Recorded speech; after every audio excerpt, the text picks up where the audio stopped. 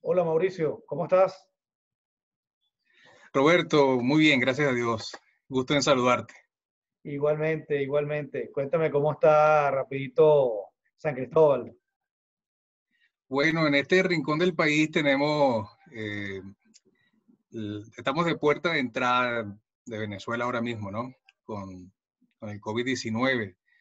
Y eso eh, ha ajustado las instituciones, el modo en que las personas nos, nos enfrentamos a esto, ¿no? Y bueno, y agradecido contigo primero por la invitación y la paciencia, porque en provincia los cortes de energía eléctrica y en consecuencia wifi y demás eh, es muy frecuente. Entonces nos, nos toma siempre eh, los horarios conforme haya la energía o no. Que parece mentira, ¿no? Quienes nos ven de afuera pensarán que a lo mejor es exageración nuestra, pero por el contrario, ese es el día a día, ese es la, digamos el normal de venir de un día en la provincia de Venezuela. Así es, así es. Y, y, y toma mucho tiempo a veces el, el incluso nuestra comunicación con, con, Caracas, ¿no? con la capital. Es decir, a veces toda la provincia estamos en apagón y puede que no se note eh, en Caracas, ¿no? Pero bueno, así tenemos bastante tiempo y, y la pandemia llega en esa circunstancia, ¿no? ¿no? No, es algo novedoso ahora, sino que ya tenemos algunos tiempos con esto. Bueno, mira, para iniciar, porque quiero que mucha gente, más allá de los que te conocemos directamente y tus alumnos, que todos los que son alumnos tuyos, que yo lo, digamos, les pregunto si conocen al profesor Pernilla, te tienen muchísima estima, ¿verdad? Un cariño muy grande y eso habla muy bien, no solamente de la parte, digamos, académica, sino humana, y desde que nos conocimos hemos tenido una gran amistad. Menos mal, así es.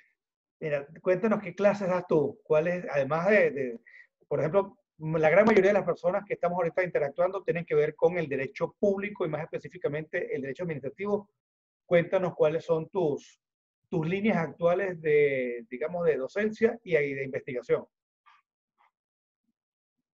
Bueno, muy bien, estamos trabajando eh, desde hace ya varios años con Derecho Administrativo 1 y Derecho Administrativo 3, que en la Universidad Católica del Táchira es contencioso administrativo. Y de algún tiempo para acá hemos eh, trabajado también para la Escuela de Ciencias Políticas eh, con políticas públicas. Y finalmente, además de estas áreas, hemos incluido derecho ambiental. Eh, cosa que ha sido interesante, puesto que de la participación que hemos tenido en universidades en Colombia, esas eran las materias que impartía ya, derecho minero y derecho ambiental. La, la suerte del derecho ambiental es que por su origen, digamos, las fuentes generalmente han sido normas internacionales, nos pone a nosotros en la posibilidad de, de poder movernos eh, en, su discusión, en su investigación, este, con normas comunes entre los países y eso facilita la comunicación y el derecho comparado ya desciende mucho más a, la cantidad de, del régimen disciplinario, de sancionatorio, pero el resto las grandes normas, los grandes principios son similares. Mira, actualmente, independientemente del tema del coronavirus que nos afecta a Venezuela de manera muy particular, pero es un efecto global. Pero es que nosotros hemos estado viviendo los últimos años en una situación de, de excepción. Y uno de los temas más álgidos es el famoso arco minero. Y es un tema que tú has desarrollado no solamente, digamos, como la opinión general que pueda hacer una, una entrevista, etcétera, sino académicamente. Me gustaría que ahondáramos un poquito en la parte ambiental, pero centrada en la parte del arco minero. Bueno, la última, la última parte se escuchó un poco mal, pero fundamentalmente nosotros eh, vemos que en, en Venezuela el inicio de las actividades de extracción de minerales en, lo que se denomina arco minero ha estado lleno de polémicas desde, desde mucho antes de que se anunciara la creación del decreto. Eh, Venezuela tiene una historia minera desde la colonia, Venezuela no viene a tener minería ahora, tiene minería desde hace mucho tiempo, pero además es el conjunto o cómo, se, cómo es el arreglo institucional para que se haga una extracción minera en una zona que es enorme, un 12% del territorio nacional está allí comprendido, y además es la metodología que se crea. Esto nos permite ver dos cosas, Roberto. En primer lugar, nosotros tenemos una tradición de legislación minera que perdura. Por ejemplo, nosotros tuvimos desde el año 1945 hasta 1999 la misma ley de minas y, dicho sea paso el periodo en el que se industrializa nuestra actividad minera, con lo cual trabajamos con esa ley de manera ordenada. Por supuesto que requería ajustes, pero, pero podíamos trabajar con esa ley hasta que se reforma en 1999 el decreto de ley de minas de 1999 que viene a organizar el método en el que Venezuela ha, explotado sus minerales, que es a través de concesiones. O lo puede hacer de manera directa o lo hace mediante el régimen de concesiones o mancomunidades mineras y pequeña minería, principalmente para, para el oro. Pero incluso en las regiones también hay pequeña minería de carbón, como la que se da aquí en Táchira. Sin embargo, a partir de 2010, luego en 2015, se hicieron unas reformas de ley y finalmente se creó el decreto de ley del oro. Y, este, y esta ley del oro lo que hizo fue sacar este mineral del régimen general, vamos a llamarlo así, de la actividad minera. Y en lugar de nosotros hacer concesiones, es decir, contratos con privados o con empresas del Estado para que éstas desarrollaran las actividades de exploración, explotación, transformación, comercialización del mineral, pues pasamos al esquema de empresas mixtas. Y este modelo de empresas mixtas, pues el Estado se entiende que participa al menos con o más del 50% y empiezan a ser en buena medida, pues, empresas del Estado en el que el Estado aporta, por lo menos se entiende que aporta, el acceso al mineral, los estudios previos si los tuviere, pero en todo caso es el único medio a través del cual el, particular o el privado, la empresa, el inversionista puede acceder al mineral. Dentro de todo este esquema, a lo que quiero poner relieve es que tenemos ahora dos sistemas diferenciados la ley de minas del 99 con un régimen de concesiones y por otra parte el decreto de ley del oro y otros minerales estratégicos que lo que hace es permitirle al Ejecutivo Nacional, conforme va avanzando el tiempo, decretar que algunos minerales son estratégicos y en consecuencia los saca del régimen general de minería y los coloca en el ámbito de las empresas mixtas. Esto tiene múltiples lecturas. Una empresa mixta o una concesión no son mejores o peores, sino que en el caso venezolano lo que viene a ocurrir es que el régimen de control que se lleva sobre una empresa concesionaria, es decir, mediante un contrato que se da entre el Estado, entre el Ejecutivo Nacional y una empresa para que explore, explote, exporte, etc., hay un, hay un conjunto de controles que permiten que haya razonable aprovechamiento del recurso.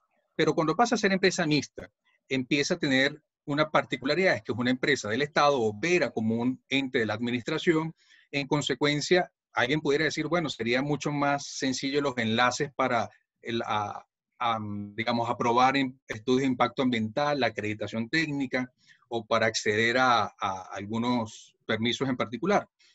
Y eso, alguien podría decir que gana velocidad, pero pierde algo trascendental en esta industria, que es la transparencia y el acceso a la información pública.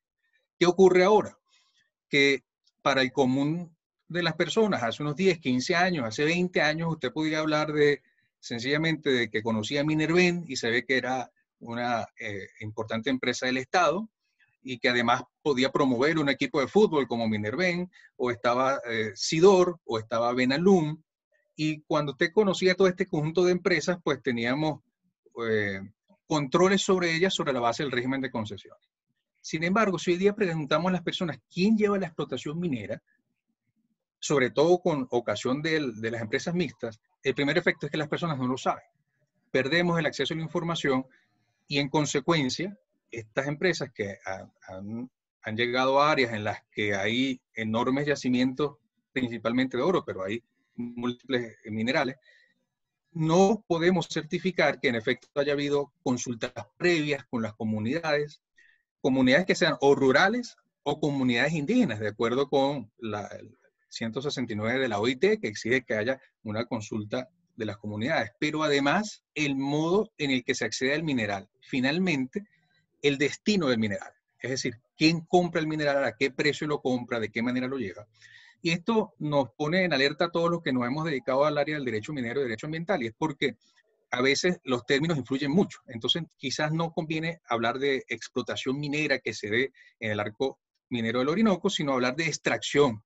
Y esta extracción puede llegar hasta ser ilícita sobre la base de que el propio documento que crea el arco minero del Orinoco está viciado en unidades inconvencional por, por atentar al modo en el que hace presencia las empresas que operan allí. Entonces, para resumir lo que acabamos de, decir, la tradición minera venezolana es importante, la legislación con la que contábamos es, robusta, es suficiente para hacerlo y cuando se crea la nueva legislación que permite que haya empresas mixtas, pero que éstas de una vez obtienen acreditaciones en estudio de impacto ambiental en las que se desconoce el modo en el que hubo eh, consultas o, no, qué empresas operan, bajo qué criterio, quiénes son los socios accionistas, se publican los contratos, se publica el, margen de ganancia de regalías, si hay ventajas, ventajas especiales a favor de la República. Eso está en un marco de opacidad enorme. De modo tal de que nuestros vecinos, Colombia, Brasil o Guyana, que son eh, países también eh, eh, de enorme actividad minera, mediante el acceso a sus páginas gubernamentales de los organismos que revisan o que lideran la actividad minera, pues podemos conocer múltiple información, catastro minero, quiénes son los concesionarios, dónde está el destino del mineral, quién es el, quién es el, el capital extranjero que está llegando y podemos manejar el volumen de la inversión directa extranjera. Eso nosotros en Venezuela hemos perdido el rastro. Entonces, en la medida que ha pasado el tiempo con la, con la nueva ley, se han declarado el carbón, el coltán el, y otros minerales como estratégicos, lo que estamos viendo en consecuencia es que se está eh, sacando, se está extrayendo de la ley de minas, como régimen general, el conjunto de minerales que podía ordenar. Entonces, eso, pues, por supuesto, nos ha puesto a nosotros en tres debilidades. No hay acceso a la información pública, hay una opacidad y tercero, el daño ambiental, la auditoría ambiental es eh, prácticamente eh, inexistente y de existirla lo tiene que hacer con los propios órganos y entes del Estado, que no permite que haya un sistema de pesos y contrapesos a lo interno de la administración pública. ¿Qué significaría esto? Mientras tenemos en una empresa del Estado que puede una empresa mixta, que es una empresa del Estado, que puede estar liderada por un conjunto de lineamientos del Ejecutivo Nacional, lo tiene que hacer frente a un ministerio del ambiente que puede tener menos recursos, menos capacidad política, menos liderazgo para poder ordenar o no que se hagan los estudios o que se paralice una actividad o que lo haga. Eso, por supuesto, que pone a la, a la actividad minera venezolana en una institucionalidad frágil, eh, fácilmente captable para la corrupción y que no permite a los ciudadanos siquiera hacer control. La, minería, y con esto te doy la palabra, pero es que la minería es algo indispensable en, nuestra vida. Mientras yo estoy viendo la imagen de, de dónde estás, las paredes que, están allí son de arcilla, el metal de las lámparas, en fin, nosotros vivimos rodeados de actividad minera y del producto de la actividad minera. Y cuando nosotros en Venezuela, con toda nuestra riqueza, no podemos siquiera hacer un, una opinión eh, objetiva sobre la base de que no hay información suficiente, y, y aún habiéndola, el metodología que se ha aplicado puede ser cuestionable, esa es nuestra realidad. Así estamos nosotros manejando nuestra actividad minera y que de alguna manera se acerca a lo que es la actividad petrolera. Bueno, sabía que este tema empezamos a hablarlo y pudiera hablarse, digamos, horas y horas y horas extendido. Incluso desde, desde, desde, si consideramos el debido proceso de formación de la ley, porque si es un decreto, bastante, digamos, opacidad hay en la manera como se hizo, porque no hubo, digamos, un estudio no se siguió el debido proceso de formación de un texto legislativo, ¿no? Pero sí hay dos aspectos, dos, hay dos aspectos muy interesantes y los menciona. La opacidad, que es lo que te va a crear. Por un lado, hechos corrompentes. Eso te va a abrir una línea de corrupción muy grande y sabemos que de ahí también pudiéramos hablar mucho. Y también eh, que me llama la atención, y cerraste con eso la parte, digamos, la idea final, era la de los daños al ambiente. Y los daños al ambiente no solamente van a, digamos, a ocasionarse aquí en Venezuela, sino que también vemos que trasciende nuestra, nuestra, nuestra frontera, porque eso es todo lo que está pasando y específicamente el arco minero de cómo se está llevando claro. va a afectar al mar Caribe y mucho más allá. Me gustaría que ya esta, esta parte, esta, esta sección, la dirigieras a los retos del derecho minería, pero también cómo afectan al ambiente, tanto en el contexto regional o nacional, tanto global, ¿no? Me gustaría que, esos retos y esas precisiones las hiciéramos con respecto al, impacto ambiental. Muy bien, me das oportunidad de decir dos cosas bien curiosas. Una de las empresas de explotación de carbón a cielo abierto más, más grande del mundo es Drummond y está aquí en nuestro vecino, está en, en la Guajira colombiana y es la mina de cielo abierto más grande. Ella, ella misma, los socios, em, empezaron a mencionar que tienen la esperanza de una vida útil de, de, del, no de la explotación, sino del mineral carbón como fuente de energía lo tienen eh, eh, con los años contados, entendiendo que la migración y la presión global por las energías limpias pues está haciendo que los grandes inversionistas puedan mirar. Una empresa de energía no es una empresa petrolera, una empresa de energía ve el desarrollo de la energía. Esto puede ser desde eólica hasta el, clásico y, y, y siempre bien portado carbón. Ahora bien, nosotros, por las múltiples certificaciones de reservas que tenemos en Venezuela, de reservas minerales, nosotros somos un país que puede tener un, un amplio trabajo del sector minero. El sector minero, como decía hace un instante, sigue siendo el gran promotor de, la, de las industrias de todo tipo y no vamos a ignorar la minería. Lo que ocurre es que hay una extracción ilícita en el, en el estado Bolívar, en otras regiones del país, eso incluye el Táchira, en el que la extracción se está dando sin los controles ambientales que esperamos, entonces ya no podríamos hablar de minería, porque entonces parece que la minería es mala minería o buena minería. La minería es aquella que tiene los debidos permisos técnicos, los estudios económicos financieros y los debidos estudios de impacto ambiental y sociocultural. Eso es minería. Cuando no contiene esto es minería ilegal, no. En todo caso estamos hablando de extracción ilícita de minerales. Entonces, esa extracción ilícita de minerales, o una extracción indebida de minerales, como la que nosotros podemos estar viendo en, Bolívar, tiene un impacto ambiental por un principio que, que, estudiamos en derecho ambiental, el principio de globalidad. Es decir, el daño que se produce en la Amazonía venezolana tiene un impacto principalmente para toda la Amazonía. Nosotros hemos eh, impactado de una manera eh, tan dramática en el estado de Bolívar. Hay un informe de Transparencia de Venezuela que, se llama eh, Oro Mortal. Ese está disponible en la, en la página en el que se puede ver el detalle de cómo sociológicamente, económicamente al Estado Bolívar se le ha llevado a una condición de primitivismo sobre la base de no tener una minería controlada. Y esto ocurre principalmente desde el momento en el que el Ejecutivo Nacional extrae de la ley de minas, del régimen general, a un régimen particular. Cuando es un régimen particular, es un, régimen de alta discrecionalidad.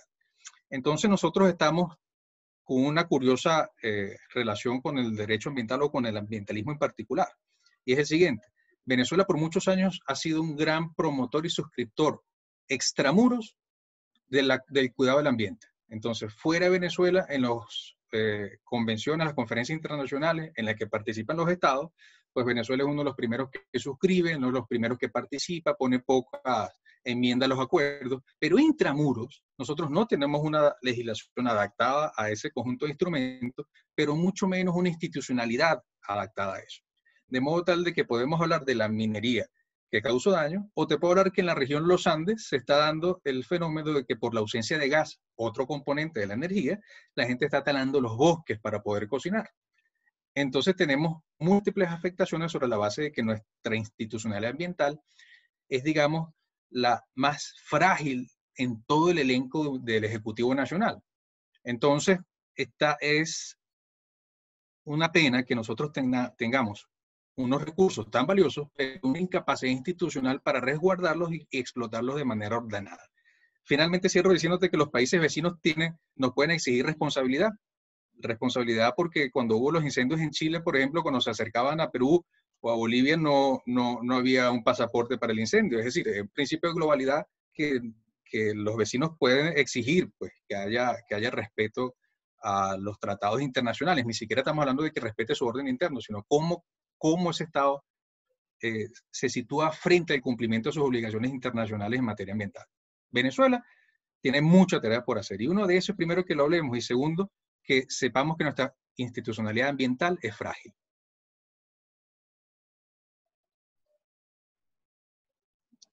Resulta que cuando yo inicié este proyecto, por eso que se llama Estado del Derecho y no Estado de Derecho.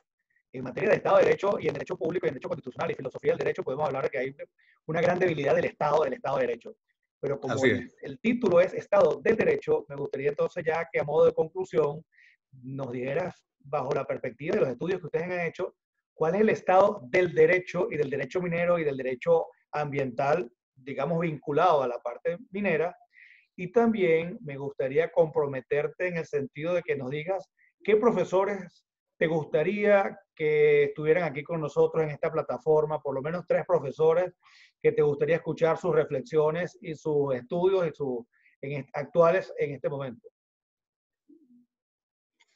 Bueno, fíjate, eh, muy acertado lo, que dices y cómo has titulado este tipo, esta serie de videos, Estado del Derecho. Yo creo que lo mejor que podemos decir mediante esta oportunidad que nos da Roberto es que el derecho minero en Venezuela que tiene una larga tradición eh, de una legislación eh, compatible con el modo de desarrollo industrial nuestro, ha sido desdibujado, ha sido debidamente, em, indebidamente, ha ganado mucha discrecionalidad que pasa de arbitrariedad desde el punto de vista del Ejecutivo Nacional.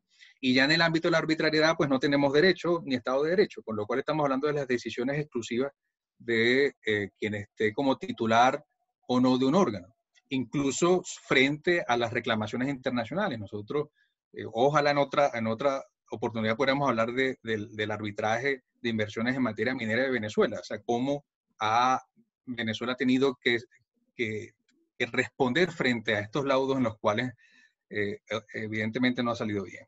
Y con lo cual nuestro derecho ambiental, gran parte de lo que hay que reclamarle a nuestra institucionalidad es no estar a la par de los propios instrumentos internacionales que hemos suscrito. Pero además que la biodiversidad de un país como el nuestro, en pleno trópico, exige que nosotros seamos de los, de los grandes líderes globales en materia de, de, derecho ambiental. Es decir, gran parte de lo que nosotros pudiéramos eh, promover de cara a lo que nos viene es que podamos hacer una gran escuela venezolana de derecho ambiental, porque lo que nosotros nos rodea en este país es invaluable respecto de otros países, tanto en biodiversidad como en recursos minerales. Con lo cual, repito lo que decía un instante, nuestro estado del derecho, del derecho ambiental, es una altísima fragilidad institucional incapaz de poder dar cuenta de la defensa del medio ambiente. Bueno, proponer profesores siempre nos pone en una circunstancia, he visto otros videos y he visto que, puede eh, no resultar tan sencillo porque uno quisiera escuchar a muchos, ¿no? Y particularmente veía la entrevista con Alejandro Canónico y él, pues por supuesto, se sugirió a profesor Gruber Carías, a, profesor Araujo Juárez y a, nuestro querido amigo y mentor Víctor Hernández, ¿no? Víctor Hernández Mendible. Sin embargo, eh, en general, además de, de, ellos que ya mencionaba Alejandro, me gustaría un profesor de la casa nuestro, que ahora mismo está eh, fuera del país, el profesor José Luis Villegas Moreno, quien trabaja muy bien en el ámbito de derecho ambiental y derecho municipal. Y, la verdad es que no, no, tiene poco tiempo en esto, sino que en buena medida para nosotros, en la Escuela Tachirense del Derecho Administrativo, es el, el representante que, que, ha hecho gran escuela en ese sentido, en esas áreas. Otra profesora de la casa que me gustaría que pudiera eh, invitarles, Sulmer Paola Ramírez, con ocasión de sus trabajos en materia de teletrabajo sus investigaciones en esto, pues eh, resultaría interesantísimo sobre la base que lo que estamos haciendo ahora mismo, en buena medida, es aprovechar las tecnologías de la información. Eh, y por eso que ahora uno ve cualquier red social y todos los profesores estamos subiendo las imágenes de Zoom en la que estamos dando clases o alguna reunión. Entonces, nada, eso es igual es trabajo, con lo cual Zulme Paola Ramírez eh, sería una estupenda invitación que pudiera hacer. Y finalmente, yo pienso que alguien que todos apreciamos muchísimo y que está haciendo una labor de, mecenazgo editorial y académico muy importante, Antonio Silva Aranguren, que podamos, eh, sobre la base de lo que están liderando en el CIDEP, pues nos conviene que nos diga esa experiencia incluso de, cómo lo ha llevado y cómo afortunadamente nos ha acompañado mucho en los procesos editoriales. Así es. Mira, te comento que a Antonio estoy tratando de convencerlo, pero él él no se da con, con, los medios. Vamos a ver si, si distintas llamadas de presión hacen efecto. ¿Cómo no? Vale, ¿cómo no? Mira, y a la doctora, vamos a tratar, si tú tienes contacto con ella, me gustaría porque es, digamos, actual y es vigente hablar sobre teletrabajo y sería ideal. Y el profesor Villegas, vamos a tratar de contactarlo. No tengo, no sé si tengo el, los datos de él, pero vamos a... Nosotros hago llegar. Creo. Seguro. Mauricio, muchísimas gracias. Eh, siempre el tiempo es muy corto para tantas cosas que decir, pero lo importante es que ese, ese gusanito de verdad que nos, que nos despierta e investigar cada vez más y tú eres una de las personas de verdad bastante, digamos, afín con la parte minería y la parte de, ambiental, ambiental. Vale. Muy agradecido, Roberto, que nos dé esta oportunidad y que, bueno, que sigamos con esta serie. Seguro. Chao, gracias. Chao.